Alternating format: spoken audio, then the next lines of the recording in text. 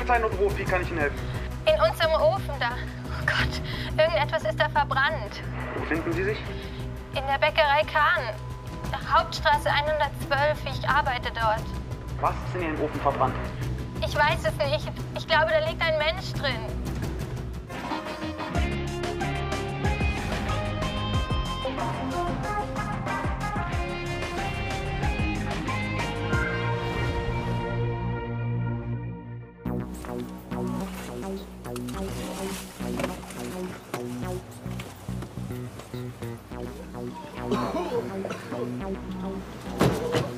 Morgen. Na, Kollegen, morgen. Wie sieht's denn hier aus? Ja, Riesensauerei. Ja, sehe ich auch so.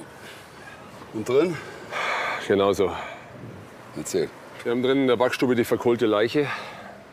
Und drinnen sitzt die Angestellte, die die Leiche gefunden hat. Wisst ihr denn schon, um wen es sich handelt bei dem Opfer? Wir können auch nicht mal sagen, ob es Mann oder Frau ist. Ja, Prost Mahlzeit. Hier, für den zweiten Hunger, Kollege. Zeig mal. Ich gehe voraus. Ja, hier. Das ist die Angestellte, die Kerstin Lenker. Frau Lenker, wir sind von der Kriminalpolizei. Wir melden uns gleich bei Ihnen. Bitte warten Sie hier, ja? Ja, da immer der Nase nach, immer geradeaus. ja ich riech's schon. Danke. Ja.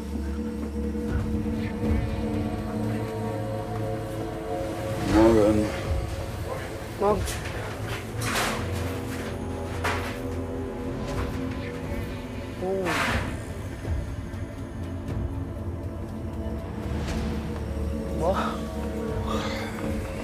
Morgen, Harald. Grüß dich. Morgen. Das ist meine Kollegin Alex. Ich glaube, ihr kennt euch noch gar nicht, oder? Wir haben schon mal telefoniert. Ach so, stimmt. Freue mich, Sie mal persönlich kennenzulernen.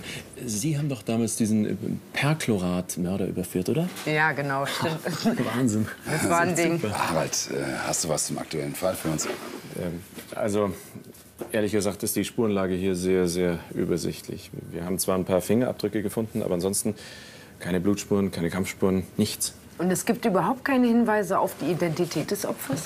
Naja, also das Handy hier haben wir gefunden. Aber ist natürlich völlig verkohlt jetzt. Und zum jetzigen Zeitpunkt ist es auch noch ein bisschen früh für weitere Hinweise. Weißt du, ob die Kollegen Einbruchsspuren gefunden haben? Nee, nicht, dass ich wüsste, nichts dergleichen.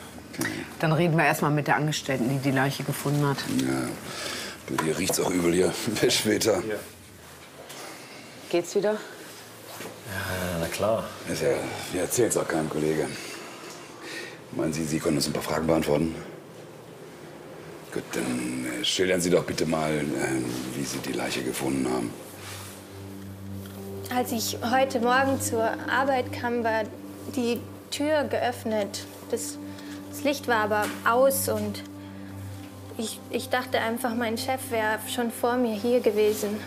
Wie heißt Ihr Chef? Kilian Kahn. Erzählen Sie ruhig weiter. Ich, ich bin dann in die Backstube und habe sofort gemerkt, dass es verbrannt riecht.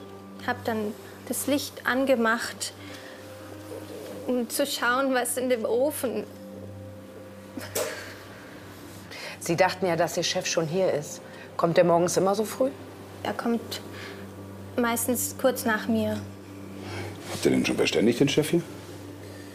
Die Kollegen waren vor Ort, aber am Sturm geklingelt, aber leider niemanden angetroffen. Die Rollläden waren heruntergelassen.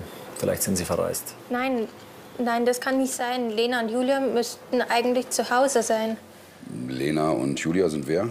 Mein Chef hat vor etwa eineinhalb Jahren geheiratet. Seine Frau Julia und seine Tochter Lena wohnen bei ihm. Ist ja merkwürdig. Dann fahren wir mal zur Meldeadresse und gucken, ob alles okay ist. Ja, und du tust mir bitte gefallen, fährst die Zeuge nach Hause, ja? Ein bisschen frische Luft tut dir auch ganz gut. Vielen Dank erstmal, ja?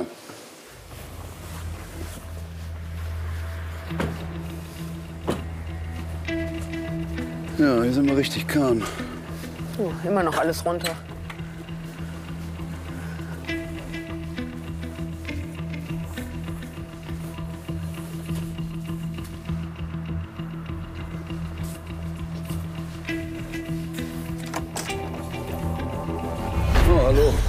Schrecken Sie nicht. Kriminalpolizei. Mein Name ist Naseband, meine Kollegin Frau Rietz. Sie sind Frau Kahn? Ja, Kripo, wieso? Ist was passiert? Es gab einen Vorfall in der Bäckerei Ihres Mannes. Ist er da? Äh, nein, der ist um die Zeit immer schon im Laden. Ist was mit Kilian? Können wir vielleicht reinkommen? Ja, natürlich. Kommen Sie bitte rein. Wann hat Ihr Mann denn heute Morgen das Haus verlassen? Ich denke, das war um 4.30 Uhr. Warum denken Sie das nur? Ach so, ich schlafe immer mit Ohrstöpsel, damit mein Mann mich morgens nicht weckt. Deshalb haben Sie wahrscheinlich das Klingeln unserer Kollegen vom Streifendienst nicht gehört. Oh, das habe ich wirklich nicht. Aber was ist denn jetzt los? Können Sie uns vielleicht erst mal sagen, wann Sie Ihren Mann das letzte Mal gesehen oder gesprochen haben? Gestern Abend so um 20.30 Uhr haben wir telefoniert. Er hat gesagt, er müsste noch Abrechnungen machen und dass er erst spät nach Hause kommt. Ja. Auf jeden Fall so um 22.30 Uhr war ich im Bett und da war er noch nicht da. Ist das Ihr Mann? Ja? Und rechts Ihre Tochter? Ja. Ist die auch da? Nein, Lena hat bei einer Freundin übernachtet. Entschuldigen Sie, ich möchte jetzt wirklich gern wissen, was passiert ist. Wurde in der Bäckerei eingebrochen, oder? Nein, es wurde nicht eingebrochen. Wir haben in der Backstube heute Morgen eine Leiche gefunden. Bitte was? Aber Moment, das ist jetzt aber nicht Wir mein... stehen noch ganz am Anfang unserer Ermittlungen und die Identität des Opfers ist noch gar nicht geklärt. Was ich Ihnen schon sagen kann, ist, eine Angestellte hat den Leichnam völlig verkohlt im Backofen gefunden. Aber wie gesagt, wir wissen überhaupt noch nicht, um wen es sich dabei handelt. Dennoch wäre es ganz gut, wenn wir eine Zahnbürste Ihres Mannes mitnehmen können, um eine DNA-Analyse zu erstellen. Und wir bräuchten auch den Zahnarzt, zu dem er geht, ja, falls wir einen Zahnstatus feststellen müssen. Ja, gut. Also, laut Aussage der Frau des Bäckers hat er um 20.30 Uhr letztmalig mit ihr telefoniert. Ja, und heute Morgen hat sie ihn nicht mehr angetroffen. Das Bewegungsprofil ist mittlerweile auch da. Und zwar war er das letzte Mal in der Innenstadt eingeloggt. Und zwar ziemlich genau bei der Bäckerei. Das Telefonat um 20.30 Uhr war auch das letzte, das der Bäcker geführt hat. Ja, gegen 0 Uhr war das Handy ausgeschaltet. Also laut Bericht wissen wir doch, dass es keine Einbruchsspuren gab. Also können wir doch mit hoher Wahrscheinlichkeit davon ausgehen, dass Kian Khan der Tote ist. Da gebe ich dir absolut recht, Philipp. Nur eine Sache dürfen wir nicht außer Acht lassen. Möglicherweise ist er selbst der Täter und auf der Flucht. Alter, wie sehr kann man eigentlich jemanden hassen, dass man den verbrennt? Ich frage mich vielmehr, wie kriege ich überhaupt jemanden in so einen Ofen rein? Ich würde mich doch wehren. Naja, Alex, also das hat bei Hänsel und Gretel und der bösen Hexe auch geklappt, oder? Hi Leute, ich habe Hey. Infos vom Zahnarzt. Und zwar haben wir doch den Zahnstatus abgleichen lassen. Unser verkohlter Mann ist auf jeden Fall Kilian Kahn. Was sag ich? Hier. Danke. Also wird aus vermisst Opfer. Ja, und ich habe den Kahn auch noch mal durchs System gejagt und haben tatsächlich einmal gefunden, allerdings als Geschädigten von der KV. Da hat ihm ein Abdi Akay mal eine verpasst und hat dafür tatsächlich sechs Monate auf Bewährung gefangen. Das ist ein Ex-Angestellter von ihm wohl. Hier auch noch ein Bild. Das kannst du mal. vielleicht mal dazu hängen. Abdi Akay. Ja. Er hat ihm vorher schon Drohnachrichten geschickt. Er hatte schon angekündigt, dass er ihn irgendwann mal fertig macht. Okay, Leute, dann machen wir das so. Ihr beide fahrt jetzt erstmal zur Frau des Opfers und überbringt die traurige Nachricht. Michi, dann versuchen wir mal mit diesem Akai zu sprechen. Ja.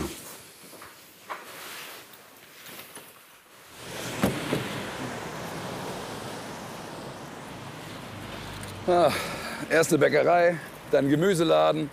Warum kriegen wir nicht einfach mal einen Einsatz in der Brauerei? Ja, und dann am besten kurz vor Feierabend und direkt da bleiben. Wird eh Zeit, dass wir mit den neuen Kollegen mal ein Bier trinken gehen. Gucken, ob der Philipp überhaupt trinkfest ist. Ich könnte mir ja vorstellen, dass die Dani den unter den Tisch bringt. Wir schauen mal. Das ist er doch, oder? Ja, das ist er. Guten Morgen, Kriminalpolizei. Mein Name ist Naseband, meine Kollegin Frau Rietz. Herr Akai? Das gleich am Morgen in der Früh. Wenn Sie die Straße verteilen wollen, hier steht der Wagen. Ah, mal kurz hier, Leute. Hey, Moment mal, was ist denn los hier? Ganz ruhig, ja? Hier tut Ihnen keiner was. Bleib ruhig, was machst du denn? Was wollt ihr denn eigentlich? Es geht um Ihren ehemaligen Arbeitgeber, Herrn Kahn. Er ist tot. Jemand hat ihn in seiner Backstube verbrannt. Man könnte mit Pichelmisch, der Bastard ist also tot. Schied ihm recht, jeder so wie er es verdient, oder? Was meinen Sie damit? Hat immer Probleme mit diesem Arschloch. Ständig diese Beleidigungen. Als Kanake, er war ein Rassist. Und außerdem hat er behauptet, ich habe bei ihm im Laden geklaut, was nicht gestimmt hat. Und dann hat er mich gekündigt. Ach ja? Und deswegen haben Sie zugeschlagen. Er hat geheult wie eine Hure und dann hat er mich noch angezeigt. Ja, und? Ist ja auch richtig so. Man kann ja auch nicht jedem aufs Maul hauen, der einer auf den Sack geht, oder? Wo waren Sie gestern Abend? Ab 20.30 Uhr bis 5 Uhr. Zu Hause auf meiner Couch vom Fernseher. Und dann bin ich ins Bett ganz alleine. Soll ich Ihnen erzählen, was ich da auch noch gemacht Nein, habe? das ist nicht nötig. Uns würde es schon reichen, wenn wir Ihre Fingerabdrücke kriegen. Dafür habe ich keine Zeit. Ich muss los in die Großmarkthalle. Schließlich arbeite ich für meinen Bruder. Wir brauchen Ihre Fingerabdrücke, verstanden? Sorry wie mein Vater, aber der wird sowas nie machen. Der ist immer laut und so, ja, das stimmt.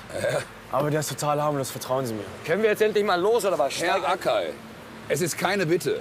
Sie können jetzt los, aber bis morgen Mittag haben Sie sich bei uns im Büro eingefunden und geben Ihre Fingerabdrücke ab. Ansonsten lasse ich Sie abholen und festnehmen. Verstanden? Ja, ja, ist schon klar. Wir sehen uns morgen. Wir sehen uns. Ja, wir sehen uns. Was denkst du? Naja, Temperament hat er genug und Motiv hat er auch. Verletzte Eitelkeit, verlorener Job. Aber würde der so über den Toten reden, wenn er es selber gewesen wäre? Ja, vielleicht ist das ja genau seine Taktik. So nach dem Motto, Angriff ist die beste Verteidigung.